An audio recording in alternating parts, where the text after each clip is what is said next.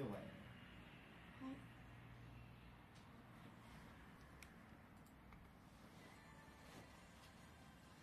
エリューの日々これ始まるよ。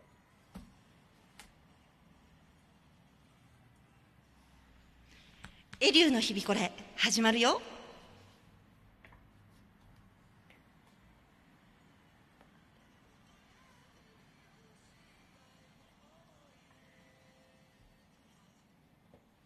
はいマはやってまいりました。火曜の夜7時。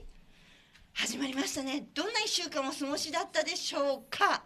えー、そのコーナーでいつもですねあのタイトルコールの時にあのやってまいりました火曜の夜を最初に言っててエコーと合わせるのしんどいよねっていう話をはい。したんだよね打ち合わせで。そうなんすね、最初にね。ね。はい。でこっちの方がいいんじゃないっていうことで今日からオープニングちょっと変わっております。ちょっとねちょっとちょっと。そのちょっとは大事なんだっていう感じで、えー、今日もうちらやってまいりました。よろしくね。はい、よろしくお願いします。はい、えーとですね、すいません、あの、このフェイスブックの方のライブ配信は。あの、ちょっと画面がちっちゃいため、私の顔しか入んないんですよ。別に私の顔がでかいっていうわけじゃなくてね。で、あの、ぜひチュラも見てほしいので、あの、ツイキャスの方でもぜひ見ていただければと思います。えー、YouTube でも同時配信しておりますし。なんだっけ、リッスンラジオ？リッスンラジオはいだと、今の BGM もね、一緒に一緒にねはいあの、この世でたった一回の。一回のねそう今しか聞けないっていうねそそんな感じでございますがはいいやーマスク外したいなですね。ー てなわけで今日もあのミキさんよろしくお願いします、はいお願いします。いや楽しいね。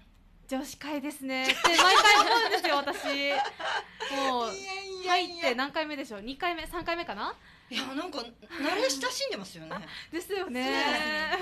のちょっとねいつも実はね私本当はやりにくいのよ。あそうそうです そかのやりにくさははい。あのなんかこうポッと自分の中で出てきた話をしようとすると年代的に伝わるかなとか思って、はいはいはいはい。ちょっとそこで一回こうストップして、はい。であこの二人なら大丈夫かなって言うと結構 OK だったりするから。そうなんですか。でね嬉しいことに女子会なんて私もそこに入れてもらっていいかもしれないもちろんですよ。よろしくお願いします。お願いします。で今日ねヘッドホン新しくなったんですよ。はいはいはい。いい感じ。よかった。うん。やっぱりね返し大事ですよ。そうですよね。ね。あるとないで全然違います違もんう。ねやっぱりこう会話しててもうなずいてもらったりね。うんうんうん。カラオケ歌ってもこの反響が良かったりね。確かに。拍手あったりね。はい。やっぱり返し大事ですね大事ですよね もうそのそれもすべて含めて大事ですね やっぱり愛ですかねそうですよ、ねはいもちろんですはい、えー今日も若い子に引き立てていただきながらおばさん頑張りたいと思います。はい、えー今日の一番乗りはご用さんでございますよ。こんばんは、ありがとうございます。今日も2時間よろしくお願いいたします。えー、2番乗り、えー、としひこさんでございます。こんばんはと来ております。よろしくお願いします。えー、ちょっと星がついてんで、あの座布団1枚多めにあげましょうかね。まあね、この私の笑い方をなんか聞いてて、はい二通りに通る方がいらっしゃるみたいでね。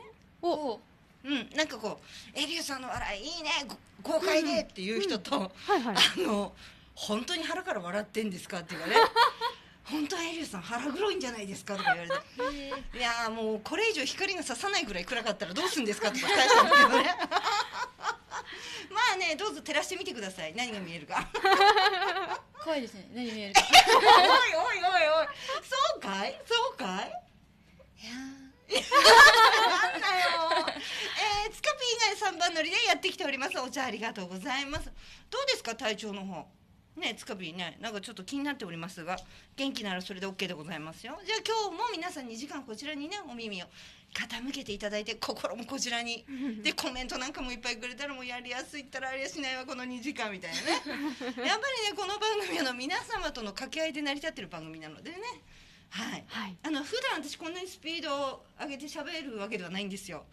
あのみんながあってなるぐらいゆっくりなので、なので、ー。なので。あの終わると酸欠なんですよ私。あもう息が足りないときついきつい。マスクも相まってね。そう。で私ねこのマスク今回なんだっけ？あそこ何？なんか。紫スポーツじゃなくて。なんかあるよねライカムに紫スポーツとかいろんなのがあって、その辺のスポーツショップにあるはいはい。ランニングしても苦しくならないってへいうー。マスクを買ったんですよ。おおはい。あの私分かったことがあるんですよ。ランニングよりもはい。喋ることの方がきつい。あらこのマスクしても辛い。効果は薄かった。はい、あ、アリサさんから来ておりますね。こんばんはと来ております。あの水曜日の、はい。あれ一時からのば、え二時からの番組？のあのパーソナリティの方で、あそうなんですね。あのサロンのアリサっていうあはいはいはいはい。あのそこのオーナーケアの施術をねなさってる方なんで、うんめっちゃ可愛い。あー会いたいめっちゃ可愛い。えーちょっとどうにかして私会えないですかねあのね紹介してあげる。いやあいいですか？ちょっとは本当可愛くって綺麗なのよ。いはいはいでなんかね本当なんかね話こうアリサさんとしてて可愛いねってなんかこううん。相づち代わりに可愛いねとか いやうん綺麗だねってこれ飲み屋で言ったらセクハラだよねみたいなぐらい私が可愛いね可愛いねってずっと言うのではい。あのアリサさんがもううなずくの疲れんじゃないかっていうぐらいね。あの彼女のあの施術は素晴らしいですよう。ーん受けたこともあるんですかあるごめんやってもこんぐらい そのうち綺麗になるさーどんどん綺麗になっていくんですよはいはい。え、なんて言った？回数を重ねて回数重ねないとダメ。まあね、そんな感じでやっていきたいと思いますが。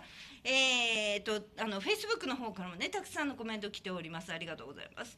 えー、と、岩本さん、こんばんはと来ておりますね。あの、皆さん、どうぞ最後までよろしくお願いいたします。えー、アリサさんありがとうございます。小顔になってます。ちょっと遠近法でいきましょう。でも本当にね、はい。あのね、アリサマジックだよ。あら。本当すごい。小顔になるんですか？あのね顔だけじゃない。あら。あっちもこっちもそっちも。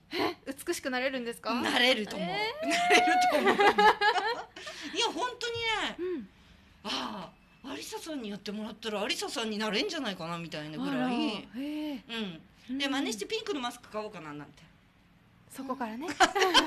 そこから入っていきましょう。まい今のツッコミは。なのに私はなんかねあの和室の壁の色みたいなマスいや綺麗なね黄緑色ですよ。ク なんかこれね。抹茶みたいなね。ね。素敵な色ですよ。これ変わってるでしょ。あいやいやいやいやいやなんかね、あの明石家様みたいな引いて笑いをしてましたけど。えーっと、ごめん、見えない。えっと細田さんから三上さん声が素敵ですとのありがとうございます。もっとね、潤った艶やかな声が出るんですけど、今日は出ません。いや、いつもこの顔、あの声。いやいや違う違うあ大丈夫あ、そう？えー、てなわけで、今日のテーマは。二つ準備しておりますね。はいはい一個目が摩訶不思議そう、まか不な思議。お話？うん。それも、なんかこうね。皆さんのお家にもないですか？こう、うちでは普通だと思ってたけど、普通に喋ってるけど。なんかよそとは違うらしいのよね、みたいな。ちょっとあるあるとはちょっと違うよそううなそうそうそうそうそうの話とかねはいはい我が家では普通なんだけどみたいなそれ何でもいいですよ食べ物の食べ方だったりしてもいいしあのいろんな何でもいいですうちってこんなことあるのよみたいなね、うん。まあ、はいそれはテーマに入ってからじゃないと全部喋っちゃいそう。で後半戦のテーマが？月ですね。月。好きな月。月。とか。お月様ね。とか。とか。とかとかですそう。ね月にまつわる。そう。ああ名月や名月や。とか。ああみたいなねですねね、本当に分かってる。まあそんな感じで今日行きたいと思います。あ、としひこさんお茶ありがとうございます。このタイミングで嬉しいんですよね。お茶って。お茶って。お茶お茶ってはい。あのなんかさこのお茶のあれもらうとあもう誰かまんじゅうってないのかなみたいなね。ああはいはいなセットみたいなねはい。まあそんな感じでやっていきたいと思います。沖縄で美味しいおまんじゅうってどこ？美味しいおまんじゅううん。えー、私なかなかおまんじゅうを食べる機会がないんですよね。うん。なんかあのー沖縄って、うん。なんて言うんでしょう先祖うん。供養っていうんですか、うん結構強いじゃないですか、うん。それそこで食べるあの重箱に入ってるおまんじゅうとかうん。それぐらいしか分からなくて。あの本当に沖縄に住んでるとごめんね。もしかしてあるかもしれないよ、はい。なんか首里に確か和菓子屋さんはあったんだけど、うんうん。あったんだけどあのまあそこは美味しいですよ。美味しいですよ。はい。だけど、うん。あのなんか内地に行くとさもっと和菓子屋さんっていっぱいあるじゃない？ありますね。うん。いやー私さ和菓子食べたくってね。うんそうですよね。そう。あのー美味しいたい焼きとかさ。はいはいはい。もう季節でしょたい焼きが。今のねね。ちょっといい感じに肌寒いというか涼しくなってきて。ううん。ん。いいな食べたいな。あのね四谷の若葉だったかな。のたい焼きが好きで。はいはい。あのねたい焼き屋さんのあのたい焼き焼くあのなんていうの鉄板っていうのかな、はい。あれどんなの見たことある？えもうタイの形がザーって並んでるのしか見たことないでそすね。この若葉はね。あれ？あれどうした？お大丈夫ですか？あのあのあのちょっとフェイスブックの皆さんすいません一回止まりました。えーっとはい。その若葉のたい焼きは一個一個焼けるタイプなのお一個ずつ。そう一個ずつ。でガチャンガチャンガチャンみたいな。あひっくり返して焼くやつですね。そうそう、はいはいはい。でね美味しいのよ。めちゃくちゃ美味しいのよ。はあた食べたくなる。えー、それはもうあんこぎっしりな感じですか？ぎっしりな感じ。うわお。もう好き。あとは、はい。神戸の三宮にあるああそう。なんつったかな。あのなんだなんだっけ？芋の名前しか出てくるそうそう。鳴門金時か大村か選べるんだけど。めっちゃうまい。美味しい。そう。なんかねあのー、美味しいんだよ。食レポできるそう。焼きたてが食べられるんですか？焼きたてでも本当に芋とかもその素材の美味しさがさらにこのあ引き引き止まってそう。引き立つ。感じねホクホクしてね。引き立つ。ちょっとちょっとなんか言葉が出てこない。これが我が家のあるある。ですこれが我が家のあるある。いいですねこれが我が家のあるある。ですあのちょこっとねちょこっと違うんだよね。なんかちょっと違う。ん別にこれがチュラだけじゃなくて我が我が家全員なのよ。へそう。ちょこっと言葉が違ったりはいはいはい。ちょこっとなんか受け取り方と解釈が違って、はいはい。昔息子にね長男にうん「トング取って」って言ったんですよ。トング。はいはい。そしたらなぜか冷蔵庫開けてはい「ないよ豆腐」って。いやあちょっと違うな。文字的にはちょっと惜しいけど、うん。内容的には全く違うとかね。そんなんだったりね。あります。ねはい。えそんなこんなで今日もやっていきたいと思います。はい。ではではおっとその前に。はい。タタイトル言ったらさ言っちゃうのでちょっとこれ皆さん先週お約束したねあ愛ちゃん。えこうか？ら愛さんの。そうですね。一回の反射的にそうですね。こあおかしい。今日フェイスブックの方うまくいきません。えーっとこれがあの先週ね言ってた愛ちゃんリスナーで来てくれてる加藤愛ちゃんのはいはい。パステル画パステルアート。パステルアート。うーん。はい。すごいでしょ？これどこまで近づければいいんだろう？あっちのカメラだよね。そうですこんねな感じ。あで、はいはい。ちょっとねこれねあの愛ちゃんが私が体調を崩した時にうん「えりゅうさんなんかお見舞い送るよ」って言ってくれて、だったら私愛ちゃんの絵がいいって言ったらはい「分かった描いてあげる」って。じゃあ私があのすごい幸せで元気で幸せになったイメージで描いてちょうだいって言ったらこの絵を描いてくれたの、うーん。そうすっごい素敵でしょ？素敵ですね。しかも優しい雰囲気がねう。んすごい伝わってきますねこの絵。そうなのよ。もしね皆さんあの書いてほしかったらあのあの送料と料金を送ってください。愛ちゃんにつなぎます。はい、ねはい。そうすごくねね。彼女の絵がもう本当素敵ピンクでね。そう。これは天使が描かれてるのかな？えっ、ととこ。翼とねなんかね鳥がね。あ鳥なんですそうなの。ねよああ見てみて。いいですか？ありがとうございます。んん。あごめん。あマスクマスクじゃないマイクに。どこ押さえればいいんだろあーすごい。はい。本当に鳥がね白とはい。ピンクと淡い色合いでねそう。とっても素敵です。なんかさ幸せになれそうだよね。なれると思いますね本どうし当によう私結婚したら。しましょえ嫌だな嫌だな今日もさちょっとその話が娘と出ましてうね。おそうなんですか？そうそしまあそれもあるあるで後で話す。あそうですね。そうです後ね最初のテーマで。そうそんなああるあるが最初だっけか。最初はい。摩訶不思議なね。そっか、はい。じゃあそんな感じでね皆さん20秒をまか不思議なお話いきたいと思います。あでも家族あるあるですからね。そんなにこう魔法使いのような話じゃなくてもいいんですよ。はい。てなわけでいきたいと思います。ではでは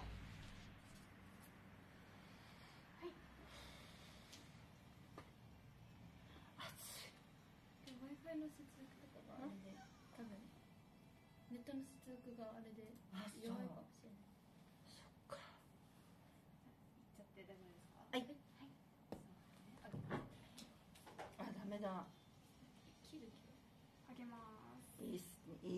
最高。えー、てなわけでいきたいと思います。我が家の摩訶不思議でございますね、えー、今日なんか摩訶不思議なのはなんかフェイスブックの方バンバン切れちゃうんですよ。えー、そんなこんなでえっと FM 機能はもしくは今 YouTube の方でねあのーライブ配信同時配信になってますんでどうぞそこから入っていただけたら。でコメントとかくださる場合は FM 機能1のホームページの方から入っていただく。のかな？すみません。ちょっと私もそこが曖昧なんですけど、まあ適当にいじってみてください。ツイツイキャスの方でね FM ギノワンで検索したら出てくると思うので、はい。はい、そこでコメントをお願いしまあす。と結構番組の下の方とかに、はい。あのー FM 機能1のメールアドレスが入ってると思うんですよね。そうですね、入ってますね。FM なんだっけ？あ797アットマーク FM 機能1ドットコム。はい、合ってるはず。はい。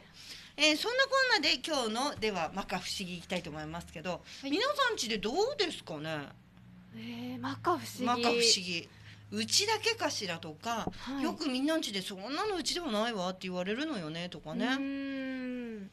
ちょっと私考えてたんですけど、うんうん。あの友人に話したとかではないんですけど、うんうん。このこの年になって私はい。23になるんですけど、うん。になって気づいたうん。ことが、うん。うちの家庭だいぶ亭主関白なんだなってお父様がね、はいはい。っていうのですとか、あーそのうん。それもあってなのかお母さんがすごいうん。なんて言うんでしょううん。尽くしてくれる、何でもやってくれる家庭なんだなっていうのはあ摩訶不思議というかうちのエピソードですね。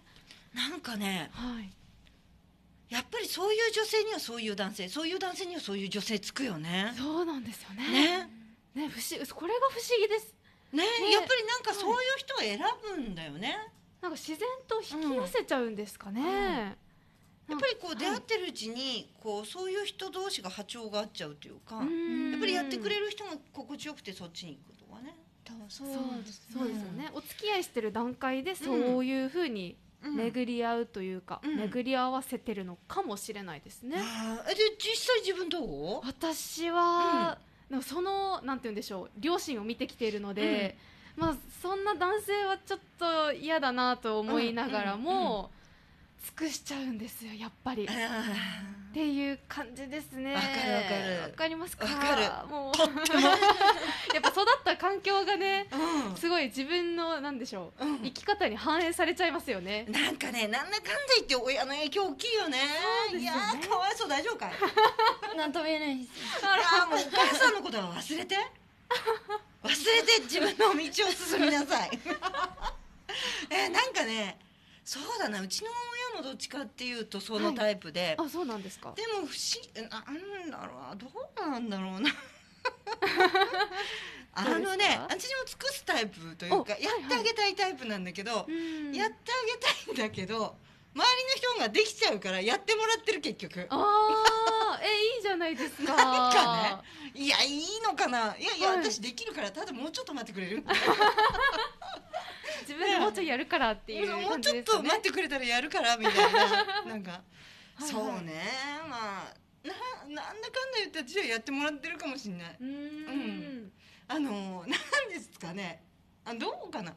あの私は これ誰の時に言って「はい」って言われたんだっけかな。忘れたけどはいあのご飯食べに行ってはいはい。あの椅子の隣にずっと立ってたの、椅子の隣にうん、立つ、自分の席の、はい。座る椅子の隣にずっと立ってたの。あはいは。いえー、あ座らずに立ってたってことですか？はいはい。どうしたの？って言って「え？どうしたの?」ってこの人椅子引かない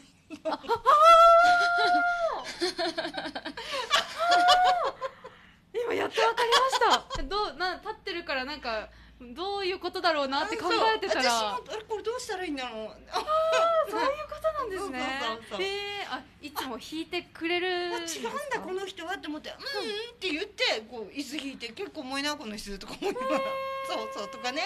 そうなんですでねもこの頃覚えたよ。そうそうそう。うん。じゃあ結構お上品な家庭で育ったんですか？えっていうかねだってうち息子たちも引くもん。ドア開けるししい。物持つし。え優しい。でえ優しい？優しいなでもこれが我が家のもしかしたらあれかもしれ これ、ない、うん、そうそう多分あのー普通ではないですね。男性方こうやって優しくしてくれる、うん。なんて言うんでしょう？気遣ってくれる？はあ。えーどういう教育をしてきたんだろうって思っちゃいました。すごい優しい男性方ですね。えっと子供たちだけじゃなく、はいはいはい。周りの人たちそういう人多いよね多いかな？できないと思ってんのかなお母さんが。お母さんが。今一瞬垣間見えましたね家庭が。お家の会話みたいな あまあまあまあすみませんって感じで、えー、山さんいらしております。あ誰も読まない？ああそうです。か先にあのバッテンはい熊五郎さんからあ先に読ませていただきます、バッテン熊五郎さんからハイサイグスヨチナ中がなびら。ちょ愛媛小沢鈴カフェ。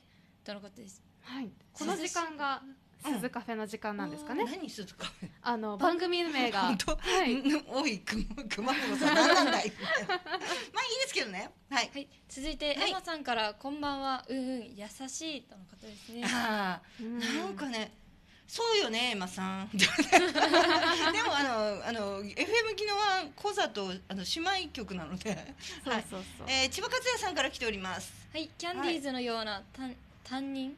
いや三人のバランスの良さ。古っ。あのこの子たちわかんないんじゃないですか？キャンディーズ。あキャンディーズの名前はねあうん。私も。うん。わかるんですけどちょっと今はまだすいません。もう千葉さんってば。置いたよみたいなね。まあそんなこんなでやっていきたいと思いますが。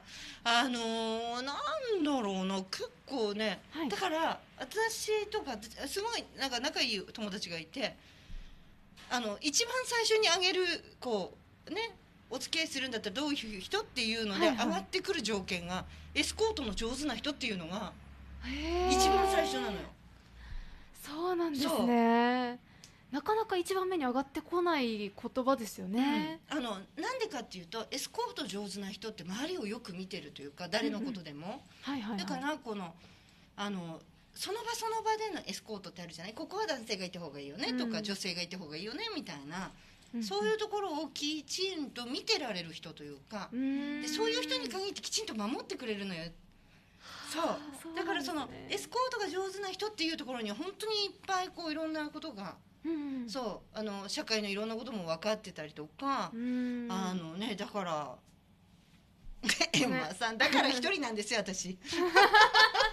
こういう男性がねそうそうなかなかいないから。はいはいそういうことにしておきましょう。そういうことにしましょう、はい、えー、エマさんあの今日のですね全般性のテーマが摩訶不思議というか私の中での不思議なのか周りからとってのえそれって違うんじゃないみたいなのとか、まあ、家族内でもいいんですけどそんなのあげていただければなと笑われちまったよ、えーそんなのがありますけどね。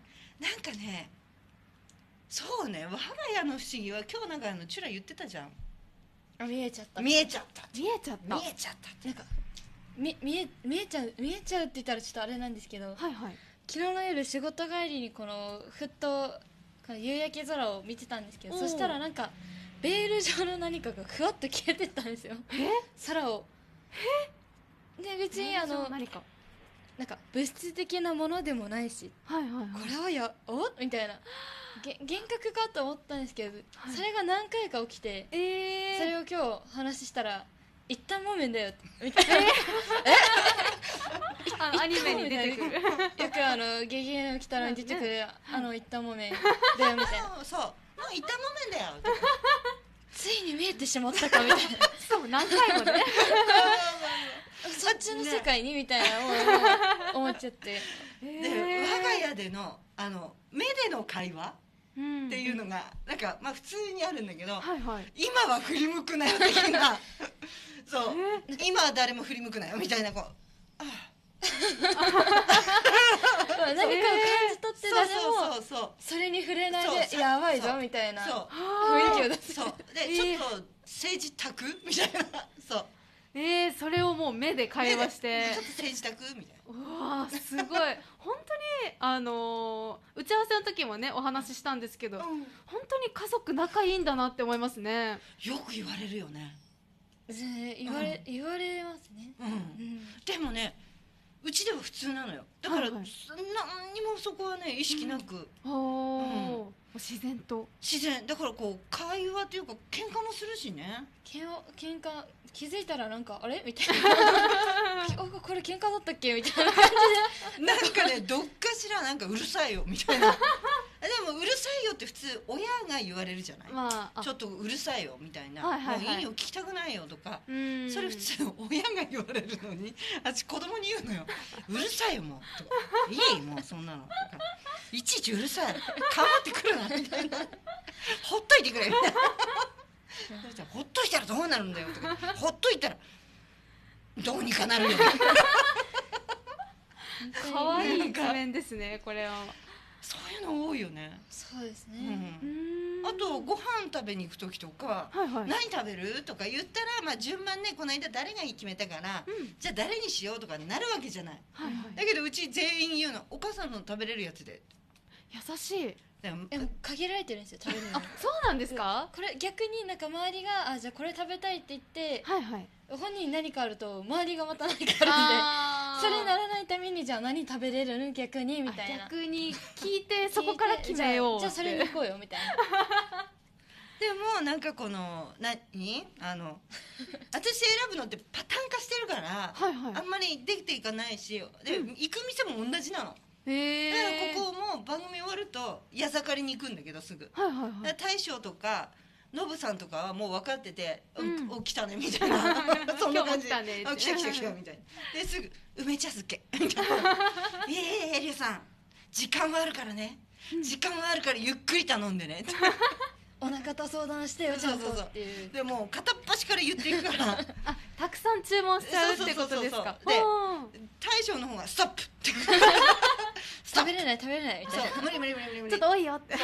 ストップって言ってこう梅茶漬け頼んでんのに「エリさん今日梅茶漬けやめとこうか」えなんで?」って今日はこういうのが美味しいのがあるからこっち食べた方がいい」って言って勝手にもう作ってんの、おにぎり。梅茶漬けなんだけどな。ー食べたかったけど でそのおにぎりもそれもまた美味しかった美味しかった。なんかねなんだっけカツオの中落ちかなんかを焼いたんだよね、はい。はいはいそれをご飯と混ぜてみょうがとかしそとか。でまたさこれがさはい。おむすびコロニに出てくるようなでっかい おにぎりじゃないあれは。握り飯なんかさヘビーヘビー級のさグローブ界みたいな。なんかもうみたいな。でもなんかそれをしっかり食べてはいはい。大将「う」まで言ったらダメって。言われて「う」まで言ったらダメ。でもう分かったんですね次の言葉が。その後なんて言ったの？今日さ糸満でうまいそばが手に入ってさこれ食べた方がいいよみたいな。それをもうなんかスルッと出してするともう言う言い終わるか出すかみたいな。そう。それで？これはね今日この天かすで食べなよみたいな。もうおすすめしてくれるんですね。なんか向こうのフルコースがスルッと勝手になんか出てきて すごい出してくれるっていう。うーん。でもそこにあのチュラは反発するんですよ。あら。あの行ってすぐハニートースト どうしても食べたいんですでもいつもお腹いっぱいになって食べれないんで先にくださいって。そうそうそう食べたいです。ってでなんか後でなくていいのかいみたいに言われたら、うん今。です。今くださいって。で不思議なのが何何かと一緒に食べてたよね。あなんかと一緒じゃなくてなんかもう多分チャーハン食べてて。うんチャーハン食べながら、はい。ハニートーストこっちにあんのこのた 取られたくらい同時に食べてたんですか？そう。なんか自分の隣に確保しといてそう。いつでもみたいな。食べれるように。